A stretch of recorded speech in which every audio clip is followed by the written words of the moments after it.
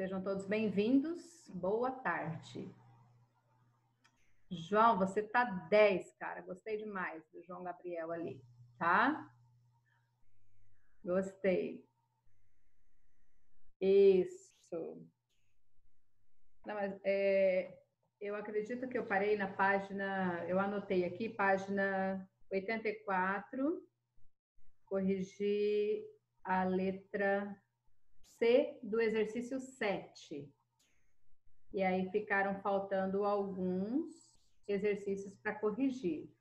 Deixa eu mostrar. Confirmam para mim, a não ser que eu tenha anotado errado aqui. Se realmente é a, a, eu vou começar na letra D do exercício 7.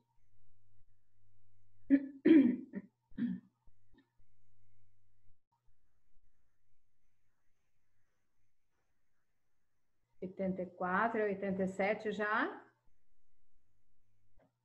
Já fiz tudo? É isso, Amanda? Não?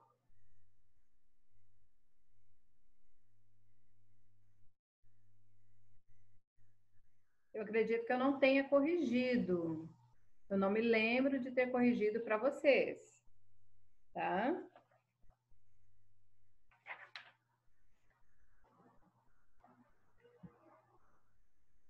É.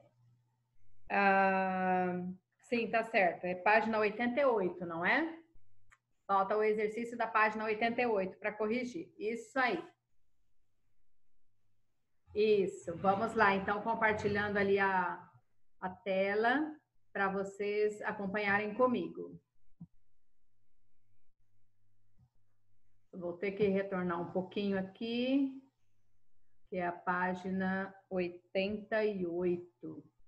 Eu achei que já tinha feito tudo. Só um momento. Essa página aqui, não é, gente? Sim, né? Certo, só um pouquinho, deixa eu arrumar aqui o vídeo. É isso mesmo, tá certo. Então, vamos lá compartilhando ali com vocês. Página 88. Então, aqui vamos para esse exercício número 4. Sublinhe os pronomes interrogativos nas frases a seguir. Depois, transforme-as em interrogativas indiretas. Então, aqui nós temos que brincadeira de mau gosto você praticou? Eu gostaria de saber. Qual é o pronome interrogativo? Que circulem ele. Circulem o pronome que, aqui o pronome interrogativo. E nós vamos transformar essa oração que está em discurso direto para discurso indireto. Eu vou dar um exemplo, mas podem ter outras reescritas, ok? Eu gostaria eu gostaria de saber que brincadeira de mau gosto você praticou. Então eu posso reescrevê-la dessa forma. Se alguém reescreveu de uma outra forma, mas que tenha a significação básica da oração, não tem problema. Então, ali, eu gostaria de saber que brincadeira de mau gosto você praticou. Discurso indireto. Ok? Deixa eu só dar uma olhada para ver se está tudo ok. Sim, né? Continuando.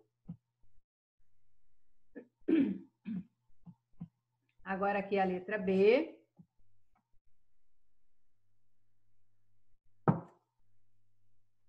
O que ele pretendia com isso? Não compreendemos. Então, para reescrever, vamos grifar primeiro o pronome é que. Pronome interrogativo que. Ok pronome interrogativo que, então nós vamos reescrevê-la. Não compreendemos o que ele pretendia com isso. Não compreendemos o que ele pretendia com isso.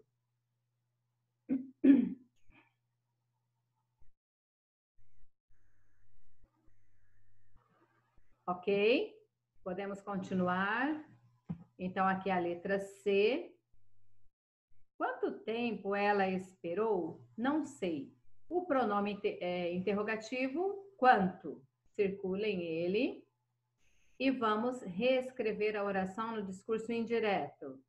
Não sei quanto tempo ela esperou. Não sei quanto tempo ela esperou. Ok? Continuando. A letra D. Quem já andou de bicicleta nesta cidade? O professor perguntou. Pronome interrogativo aqui é quem? Ok?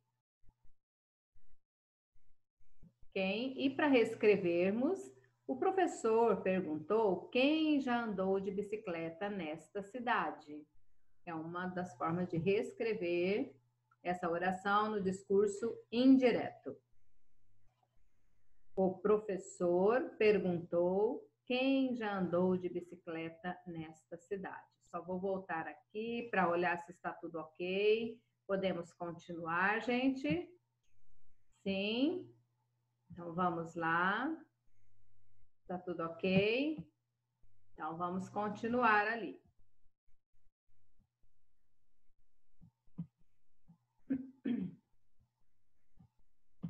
Agora, número 5, escreva por extenso os números que estão na tabela e classifique os numerais que você escreveu. Então, aqui A é um e meio, né?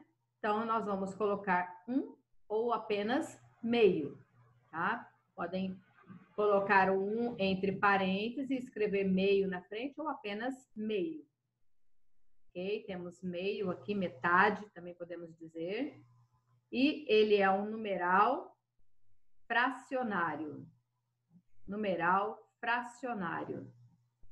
Então, aqui vocês vão colocar meio fracionário. Só observar ali um pouquinho que, o que se querem perguntar alguma coisa, vocês podem escrever ali para mim, tá? Que ali eu retorno para ver sobre o conteúdo que nós estamos corrigindo. Então, se alguém quer rever alguma coisa, escreva no chat ali para mim. É meio numeral fracionário. Ok? O Eros, você quer perguntar alguma coisa? Escreva ali no chat para mim.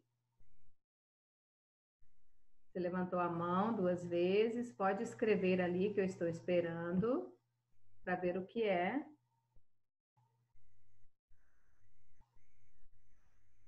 Cadê o Eros? Vamos ver. Você quer perguntar alguma coisa. Ah, ok a número 5, vamos voltar ali para explicar. Ó, nós temos aqui nessa coluna os numerais. Aqui nós vamos escrever esses numerais por extenso, ok? Nós temos algarismos e aqui nós vamos escrever por extenso. E na sequência nós vamos classificá-lo. Classificar como numeral cardinal, ordinal, multiplicativo e fracionário. Certo? Entendido? Então, aqui nós temos o 1 sobre o 2, né, indicando uma fração. Nós lemos esse numeral como meio ou metade. Meio ou metade, ok? E é um numeral fracionário, Podem escrever aqui fracionário, correto? Vamos observar o seguinte número. Tem o 26, observem que uma bolinha pequenininha com tracinho embaixo. Isso daqui está indicando que nós temos que ler como vigésimo sexto. Então, como eu leio esse numeral que está aqui? Não é 26, é 26. Por que eu sei que eu tenho que ler dessa forma? Porque esse, essa bolinha aqui com o tracinho embaixo indica que é um numeral ordinal, indica ordem, ok? Então, aqui, na, aqui nesse espaço, vocês vão escrever vigésimo sexto e aqui na classificação ordinal. Ok? Vigésimo sexto, numeral ordinal.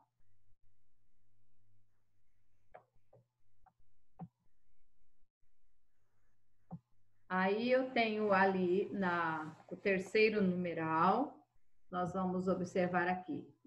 Temos em algarismos número 5 e o 8. Então aqui forma 58. Então nós vamos escrever ali da forma que nós lemos. 58.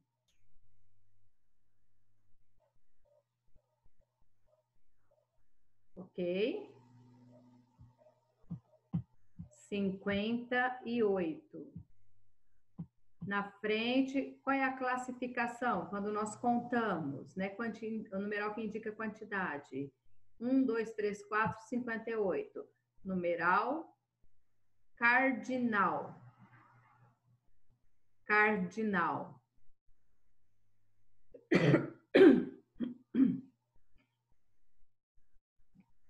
numeral cardinal. E aqui no último, nós temos o algarismo, da mesma forma que foi escrito aqui esse numeral, 26, não é? 26. Aqui, esse, esse símbolo indica que é um numeral ordinal e nós vamos ler décimo quarto. Então, vocês escrevam aqui décimo quarto, correto?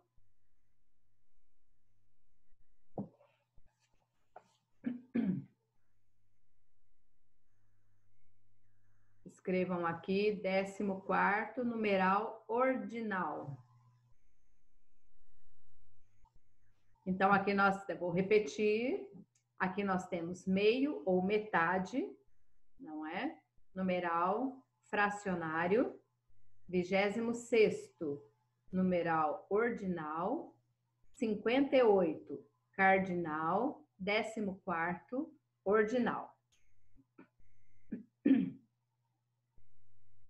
ok?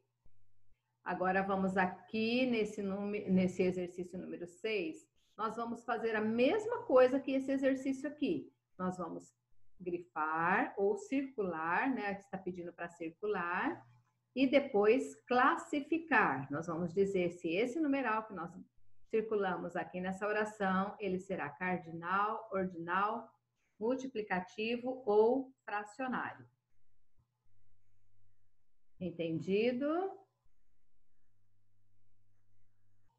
Certo? Aí nós temos aqui na letra A, um terço dos vendedores do mercado municipal vende frutas. Nós vamos aqui, um terço. Então, qual é o numeral que é esse? É mesmo que eu estivesse escrevendo esse daqui e o número 3 aqui embaixo. Então, aqui, um terço é o numeral. Esse numeral representa o quê? Da mesma forma, eu vou escrevê-lo assim.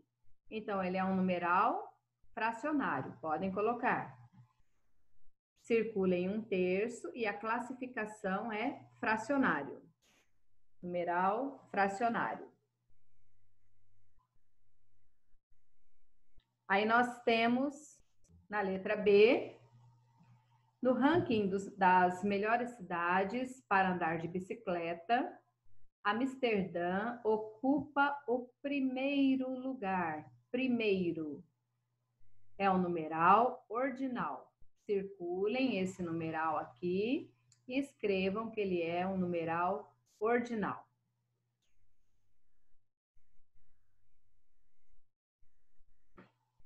Agora, nós vamos aqui para a letra C, Neste século, houve muitas descobertas tecnológicas.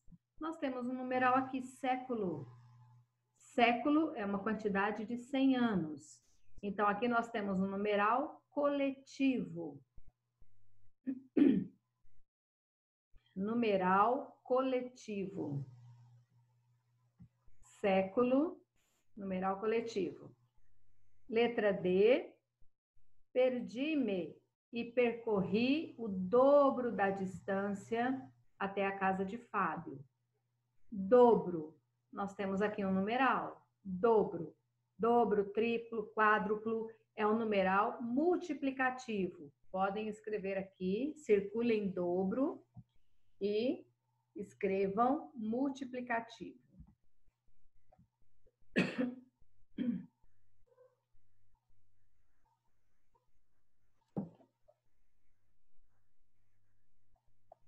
Aí nós temos ali na letra E, na reportagem da TV, apareceram quatro ciclistas. Quatro.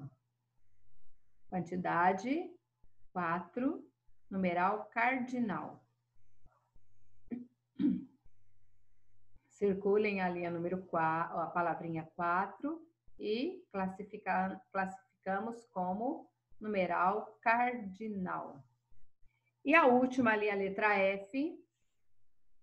Tenho dezenas de motivos para substituir o carro pela bicicleta.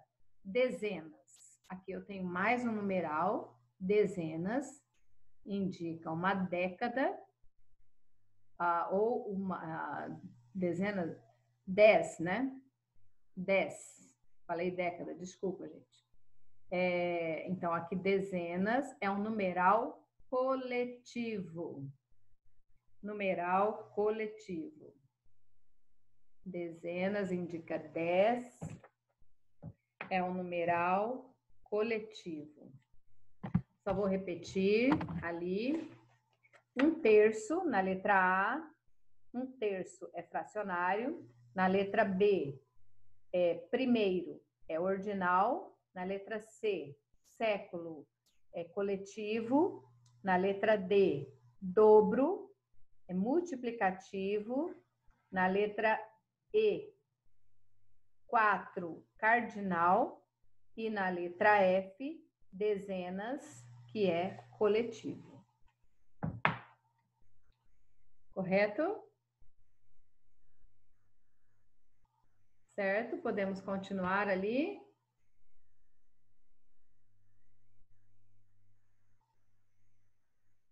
A letra C, você já conseguiu responder ali? A letra C da 6 é século, é um numeral coletivo. Certo? Ok. É... Ok. Agora, gente, na, nesse próximo capítulo que nós vamos estudar, elementos de coesão. E eu vou compartilhar para explicar para vocês o que seriam esses elementos de, de coesão. Nós estudamos já os pronomes, pronomes pessoais retos, oblíquos, demonstrativos, interrogativos.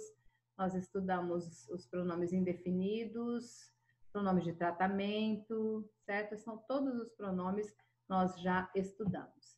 Então, aqui nesse, nesse capítulo agora, temos lá elementos de coesão. Então, o que é coesão? É uma conexão, ligação, harmonia entre os elementos de um texto. Percebemos tal definição quando lemos um texto e verificamos que as palavras, as frases e os parágrafos estão entrelaçados, um, dando continuidade ao outro. Então, os elementos de coesão determinam a transição de ideias entre as frases e os parágrafos. Então, ali o que é a coesão? É conexão, é a ligação, é a harmonia entre os, as palavras dentro de um texto. Aqui nós temos um exemplo de coesão nesse pequeno texto aqui que, que eu copiei para mostrar para vocês o que seriam essa coesão. Os Sem Terra fizeram um protesto em Brasília contra a política agrária do país, porque consideram injusta a atual distribuição de terras. Porém, o ministro da Agricultura considerou a manifestação um ato de rebeldia, uma vez que o projeto de reforma agrária pretende assentar milhares de sem terra. Então, se vocês observarem aqui, temos grifado as palavrinhas porque, porém e uma vez que. Se você tirar essas palavrinhas que nós chamamos de elementos coesivos, olha como fica essa oração. Os sem terra fizeram um protesto em Brasília contra a política agrária do país. Consideram injusta a atual distribuição de terras. O ministro da Agricultura considerou a manifestação um ato de rebeldia. O projeto de reforma agrária pretende assentar milhares de sem terras nós não sabemos exatamente o que é que a pessoa que escreveu está querendo nos dizer. Então, aqui ele traz uma explicação, não é? Fizeram um protesto em Brasília ah, contra a reforma a política agrária do país, porque, certo? Ah, aqui, porém, já traz uma contradição, aquilo que foi dito antes, né? Uma vez que ah, o projeto ali ah, também é utilizado para como elemento coesivo. Agora, deixa eu voltar aqui a, a tela para vocês entenderem da forma aquilo que vocês já estudaram, que fica mais fácil. Eu peguei essa primeira oração aqui, os alunos do terceiro ano, vou ler essa primeira, essa segunda oração aqui. Os alunos do terceiro ano foram visitar o Museu da Língua Portuguesa. Os alunos do terceiro ano foram acompanhados pelos professores da escola. Observem aqui como nós reescrevemos. Os alunos do terceiro ano foram visitar o Museu da Língua Portuguesa. Eles foram acompanhados pelos professores da escola. Então, lendo essa primeira oração e lendo essa segunda oração aqui, como que fica melhor tanto a estrutura da oração quanto a forma que nós estamos lendo. Então, se eu ler os alunos do terceiro ano, os alunos do terceiro ano, fica repetitivo, se torna cansativo. Então, para isso, existem os elementos de coesão. No caso aqui, é um pronome pessoal, tá? Um pronome pessoal reto. Então, se vocês virem, é ele, a, a, o pronome eles está referindo-se a quem?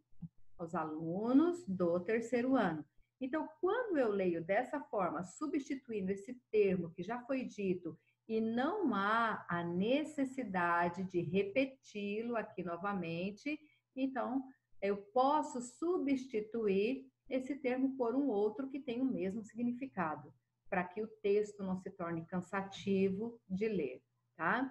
Então, a, essa forma aqui como está reescrita, né, um termo mais um pouco mais longo, então, se torna o texto, a, a, quando nós estamos lendo, se torna um pouco mais cansativo. Agora, isso aqui, então, é chamado de elementos, elemento coesivo, tá? Porque ele está substituindo um termo que foi dito antes, para não haver a necessidade de repetir esse mesmo texto, correto? Essa mesma, esse, esse termo da oração ali que foi dito antes. Aí eu coloquei alguns outros exemplos. É, vocês já têm ali todos os pronomes. O, o que seria o pronome em si? É uma palavra que ela acompanha ou substitui o substantivo. Então, nós podemos estar utilizando esses pronomes que nós ah, é, estudamos. Os que podem substituir nomes são os pronomes pessoais retos e os pronomes oblíquos. Né?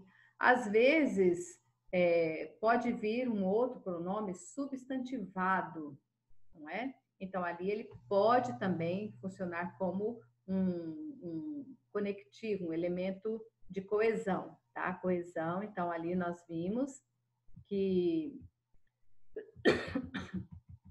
nós colocamos aqui para vocês só vou repetir aqui para vocês lembrarem, mas no livro de vocês tem esse termo, né?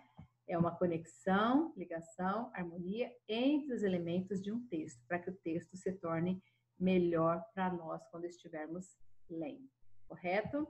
Então, ali eu trouxe alguns elementos aqui que mostram que são conectivos, algumas palavrinhas que funcionam como conectivos. É, eu sei que vocês vão estar estudando isso daqui mais para frente, a partir do sétimo, oitavo ano, a partir do ano que vem, ou a partir do, do, oitavo ano, vocês vão estar estudando as conjunções, que nós temos aqui algumas conjunções, nós temos também advérbios, que vocês, eu acredito que já estudaram, e esses conectivos aqui, eles servem para que na hora que você esteja é, escrevendo um texto, o seu termo se torne mais rico, se torne melhor na lei para a pessoa que estiver corrigindo.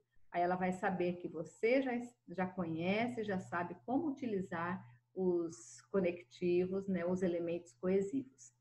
E eu digo que sim, porque ah, vocês têm aula de produção textual e é utilizado esses termos aqui para vocês estarem é, escrevendo os textos de vocês, certo? Então, aqui nós temos de adição, de oposição, de conclusão, de concessão, de dúvida, de certeza, de causa, exemplificação e de comparação, tá? Então, ali algumas palavrinhas que elas podem vir ali como elementos coesivos. Daquele outro exemplo que eu passei para vocês, né, que está no final aqui dessa nesse exemplo aqui. Eles foram, é, é o que nós já estudamos os pronomes e o o outro exemplo que eu passei primeiro. Ok, gente? É, deixa eu só voltar ali um pouquinho. Deixa eu mostrar aqui para vocês. Meu, meu, computador não está querendo descer. Isso, desceu aqui. Então, se vocês observarem, eu trouxe exemplo para vocês daqueles que, que está ali na, no quadrinho, tá? Porém, porque, uma vez que são chamados de conjunções, e ou locução, locução conjuntiva, que temos aqui uma vez que, que é um conjunto de palavras. Correto? Eu não sei se vocês estão conseguindo me entender. É, é bastante simples, não é difícil. E lá no livro de vocês, na página 103, é, 99, 103 são as páginas amarelas, tá? Deixa eu compartilhar novamente aqui o livro para vocês virem onde estão a, os elementos coesivos do, desse capítulo. Deixa eu ver se eu consigo. Não está indo muito rápido. Deixa eu colocar aqui. Aqui, olha. Nesse elementos de coesão aqui, palavras como isso, esse, essa, esses, essas, disso, desse, dessa, nisso, nesse, nessa, que foram estudados anteriormente. Isso aqui, todos eles são pronomes, tá? É, demonstrativos. Podem, essas palavrinhas aqui podem ser usadas para retomar informações anteriores, né? E os elementos de retomada são fundamentais para a coesão do texto. É o que vocês podem observar aqui nessa frase. Ali nós temos um olhar sustentável sobre o Rio de Janeiro a partir de imagens feitas com telefones celulares. Essa é a proposta do documentário. Então, aqui, essa está referindo-se a um termo anterior da oração. Para não repeti-lo, foi utilizado o pronome, tá? Então, aqui embaixo tem mais alguns exemplos. Vocês também já estudaram esses pronomes é, ele, ela, eles, elas, ou aos, as, lhe, lhes, também podem retomar informações que já foram ditas anteriormente, tá? Dentro de um contexto, claro. E eu acho que é só esse conteúdo. Aqui tem a como se faz o documentário, isso daqui já faz parte da produção textual, que vocês terão que assistir a um vídeo ali para responder, ok? é, a elementos coesivos, então elementos de coesão, é isso que nós acabamos de ver. E agora eu vou deixar esse momento para vocês perguntarem se tiverem alguma dúvida e quiserem fazer perguntas, né? Vocês podem estar à vontade interagindo agora conosco, tá? E aquilo que vocês não conseguiram entender, vocês podem estar perguntando, certo? É...